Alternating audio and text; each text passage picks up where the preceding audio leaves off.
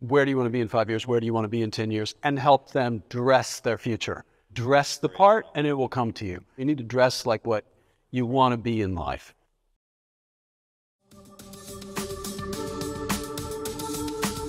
My name is Lee Ha. I'm an accountant.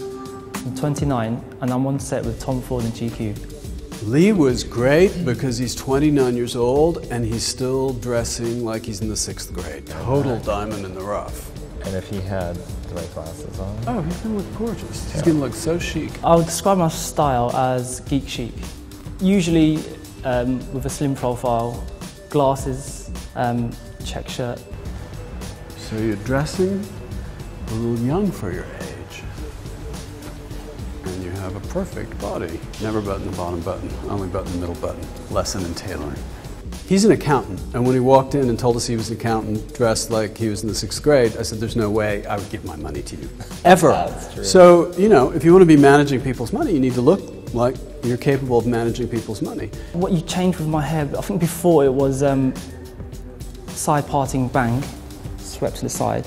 I would love to see him apart and quite sleek and very, not short, short, but just very groomed and very clean. We're turning him into me. No, I'm kidding. He was really adamant about the fact that he really liked what he had on. Yeah, I think we just need a slightly different mm-hmm. tie. And then, did we put some tie other needs- glasses on already on him? We haven't at tried the- them on yet. Yep. These are not going to be right on you, but maybe. Mm-hmm. He became Yeah. a totally different person. He what? And he really just owned it and embraced it. He didn't and even, talk to me once he was No. beautifully dressed. It was like, He was almost the one who struck the pose the quickest and, and just owned the suit completely. chin down again. And burn a hole through my camera lens with your smoldering good looks. I also love the fact that it has, was a peak lapelled suit. You know, a pinstripe suit, especially if you're an accountant, it's pretty ubiquitous. But by putting a, you know, an interesting shirt tie combination with it, you can make it not look plain and dull and ordinary. And one of the most important things I think about how to fit a suit is to fit your waist.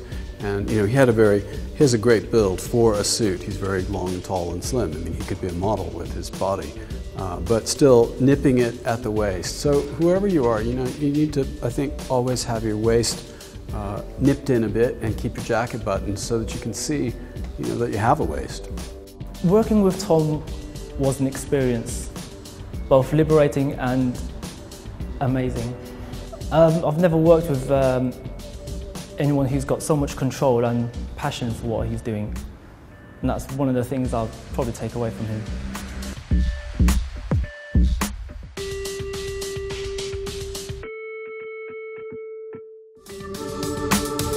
Hi, I'm Toby. I'm 24. I work in sales and I'm here on the set with GQ and Tom Ford. So what do you do? Toby works for his dad. He's in the garment industry, I believe, and he's now stepping up to kind of take on some of the responsibilities of his dad. So our thoughts with Toby and what he wanted was to look a bit more grown up. What does your dad wear? Sometimes if you put on the suit, you get the responsibility. That's right. So in 10 years, you'd be wearing a suit? Yeah, I think so. I'd always dress more more casually. I tend to kind of not make too much of an impression, don't want to rock the boat too much.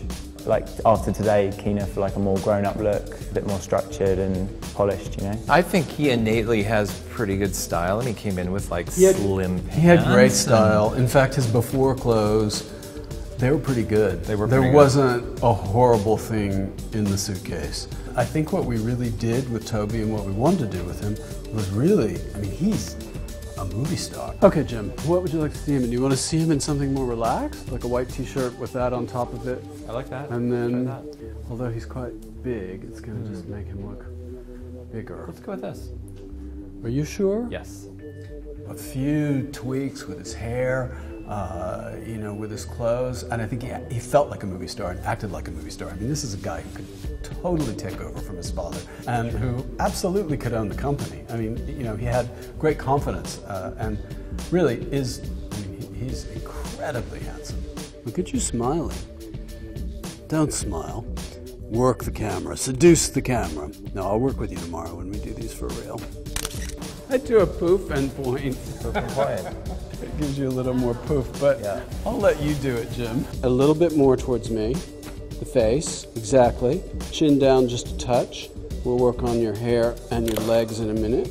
He's typically handsome English, and when we put him in, you know, a fairly English suit with a turtleneck and, uh, you know, a pair of almost shooting glasses, it just brought that out and really made him even more, uh, you know, more handsome.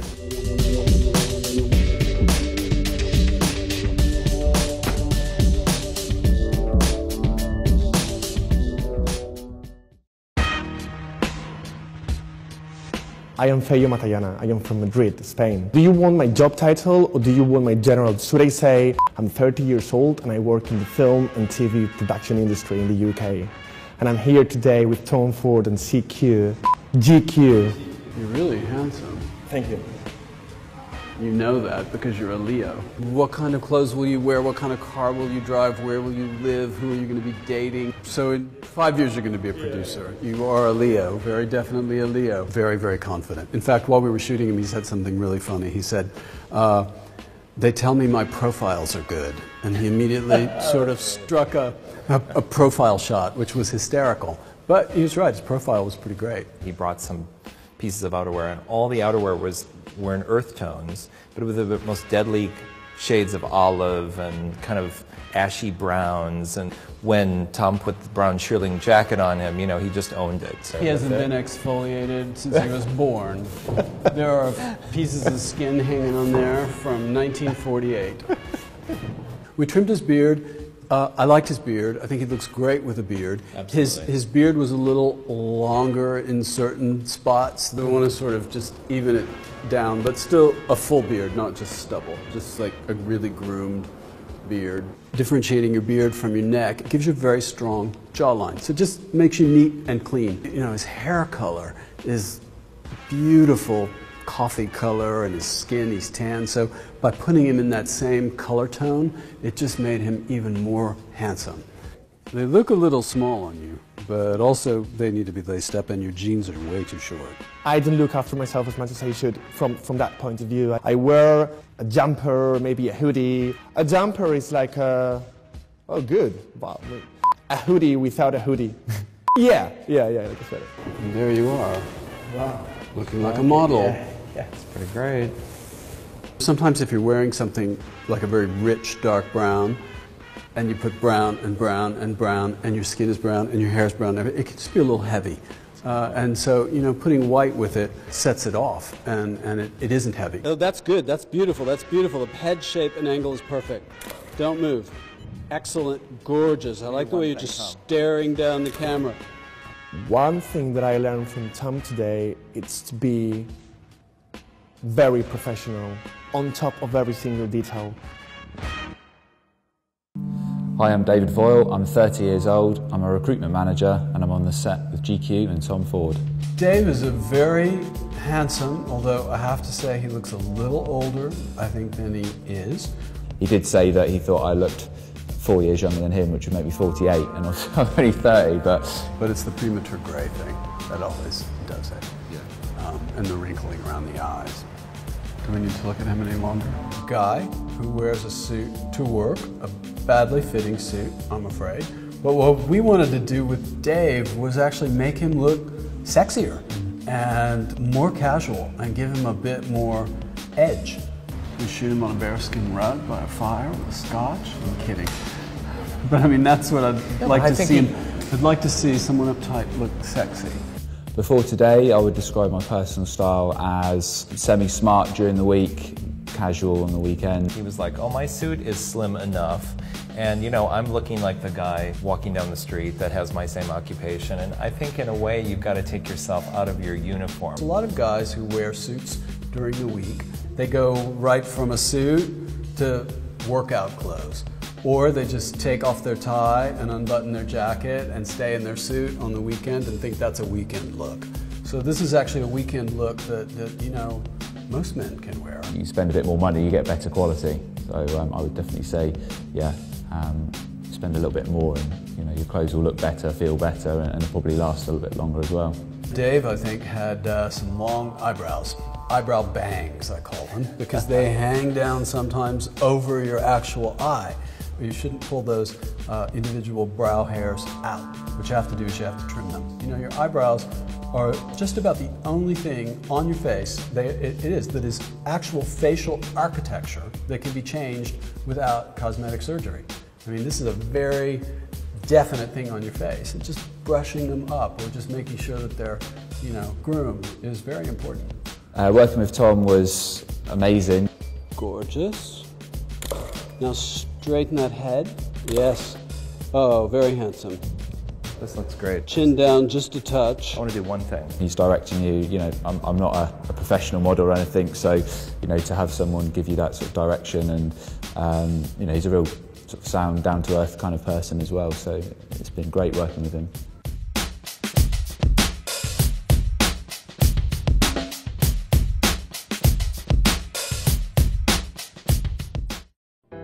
Jeffrey's just really, really, really handsome and had a beautiful smile. He was shy. He was tall, very athletic body, and he was very easy uh, to dress. Uh, can we slip a jacket on you? You know, he looks really big, but you put the jacket on and it's fantastic in that jacket. it's perfect. Yeah. Well, he came in with good personal style. He came in with a you know a t-shirt, a striped t-shirt, and it fit well. And again, he was aware that clothes need to fit you, especially if you're someone who's He matched his shoestrings to his jacket or shirt, as I recall. Yes, Didn't he have blue stripes and blue shoestrings? Blue shoestrings, Yeah, again, just a little young. Is there a reason you keep that nail longer? So there's no coke habit going on. uh, in terms of his hair, I think we took down, he had a bit, it was short and then it kind of popped out a little bit. He had a little bit of a ledge. So you have to really be careful. And that was something we did with a few guys. He looks pretty gorgeous. If I were he and I wore that coloring, I would probably live in this color. My style before would be very clean, very nice, simple, but not like extreme fashion, just normal people fashion. We wanted to put him in something, something casual, something soft, uh, and you know, trying to keep his own personal style. And he loved what he was wearing, I think. Uh, but but you know, make him a bit more grown up. You know, a lot of guys think they can't wear lighter colors in the winter, but I think what I love about that and the thing that really toughened up toughened it up as a military coat. Look into my camera lens. Remember, you're seducing the person on the other side of the lens. Beautiful. I'm just going to shoot a few. You are so handsome. One thing I learned from Tom today was whatever idea you have in your head, don't kind of change it. Just really go for it. Conrad came in, and I don't think he has any idea how handsome he is. Very handsome, Conrad. Yeah. Thank you. You are.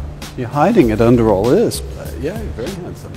He's a construction worker. He wants to own his own construction company. You could get Catherine Zeta-Jones. Think. Yeah, once we clean you up. oh, the hair was so oily. Uh, just, I'm serious. Hand disinfectant and a towel.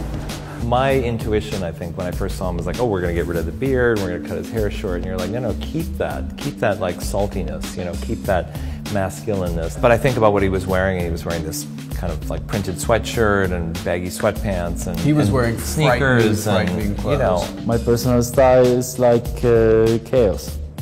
We wanted to keep all these guys' personalities. We didn't want to change their personalities. We wanted to keep who they are, but just you know help them find the best version of themselves. So we wanted to keep him casual in a way, but just really upgrade him so that he looks like the guy who really owns the company. by putting him in this beautiful, you know, top coat and turtleneck and pants, you're not trying to take him out of his element. You know, in the vernacular of, of, of his world, but obviously a very luxe version. Conrad was a great pleasure because once we had him dressed, I think he felt very, very proud and he really projected uh, into the camera. He was so easy to photograph. Yes, I think I'm good model. Today, Tom Ford was, was really professional. It's a pleasure to work with him. I think men in our culture rarely get the kind of attention that we paid to all of these guys during this process. Women are very used to having men say to them, wow, you look so great, you look beautiful. I don't think most women say that to men very much. So if you're a, a woman and you're watching this, say something nice to the guy in your life.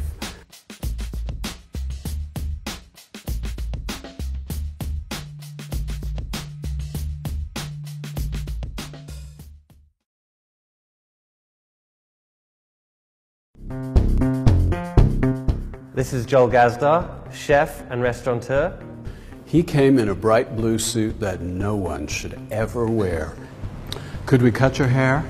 You could? Fairly dramatically. Sure, why not? Could we shave your facial hair? Again, he had some tricky facial hair going on. Uh, and I think he was living in a different decade. You look like you're in Boogie Nights. You're in my favorite decade. You're in the 70s here. Staying Alive kept playing over and over in my mind. You know, Staying Alive, Staying Alive. It was the, the Bee Gees. And then for a minute it was Dirk Diggler, and I thought we were in the San Fernando Valley shooting a porn film in 1979, and Julianne Moore was going to come in in a minute, and so was uh, somebody on roller skates. My style before the makeover was quite eclectic, very crazy, a mix of things. Um, let's take a picture of you. Step against the wall if you could.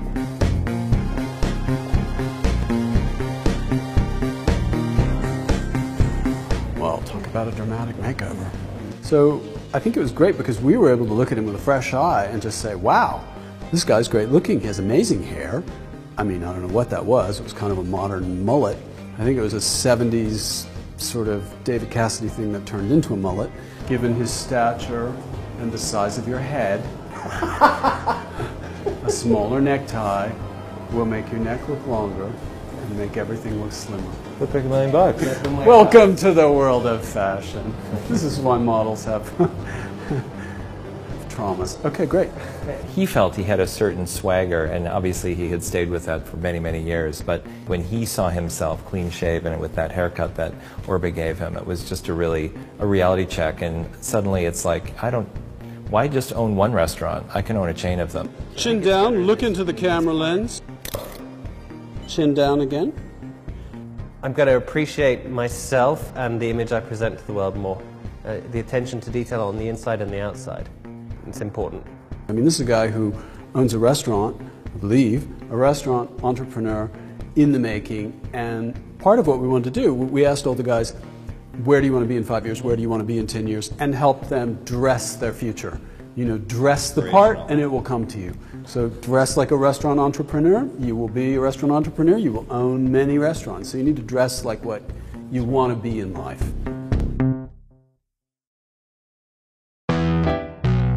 Ali's an art director and he mentioned to us that his dream was to win an Academy Award for art direction. So we said, well, you should dress as though you're ready to get your Academy Award. Dream future. Let's say five years from now, every dream you want comes true. What are you doing? Where are you living? Who are you dating? What kind of car are you driving? What are you wearing? I think my personal style is a mixed match of things I appreciate and, and I collect in magazines, internet, TV, on the streets, what I see. Uh, the, the great thing about him is he has a, a naturally, you know, like almost a dancer's stance. Perfect posture, very proud. Um, he has great bone structure. Could we cut your hair a bit? Because it's very short and then it's very big.